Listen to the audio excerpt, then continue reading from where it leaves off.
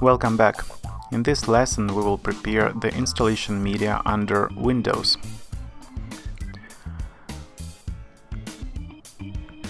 To prepare the installation USB drive we will use Unet UNetBootIn software. It is a small program that lets you create bootable flash drives. So let's go to screen.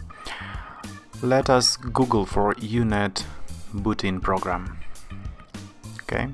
Sorry my interface is in Russian, but I will comment everything. So, this is UNetBootIn website. Here are three options. We need Windows option. Download begins instantly and we won't wait. Okay, save. It downloads very quickly because it's a small program. Okay, let's start it. Here it is.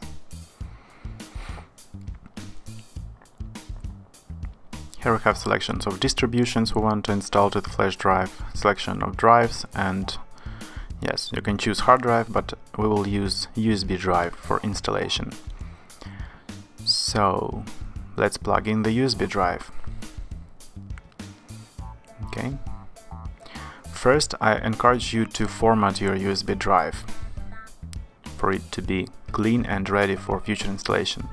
Use FAT file system and format. Okay. Now our drive is formatted, clean and ready for setup. After formatting, you need to restart UNetBootIn, just in case. Here, we will choose we need to choose a drive letter of our USB stick. Let's check what letter our stick has. It's D actually. Yes.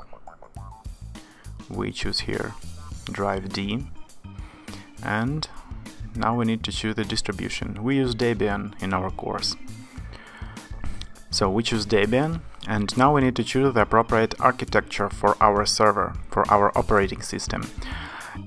If the server, the hardware you are using has uh, up to 2 gigabytes of RAM, I advise you to use 32 bits operation operating system.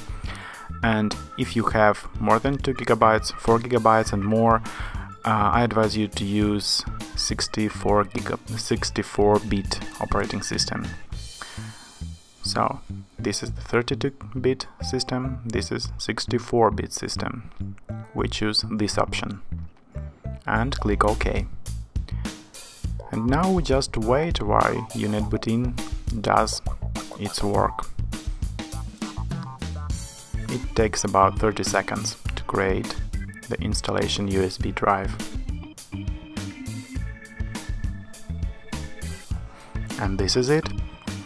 Now we can use this thumb drive to boot from it and start the Linux installation process.